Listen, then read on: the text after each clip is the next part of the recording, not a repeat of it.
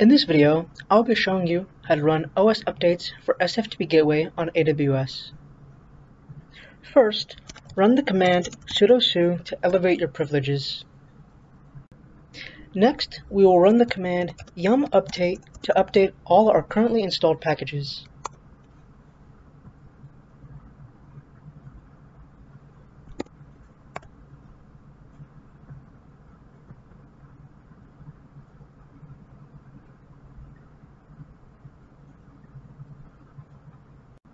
Once the yum update command is completed, your machine should now be updated to the most recent versions of the packages on your machine. That's all for this video. If you haven't already, please check out our other SFTP Gateway related videos and content. Thanks.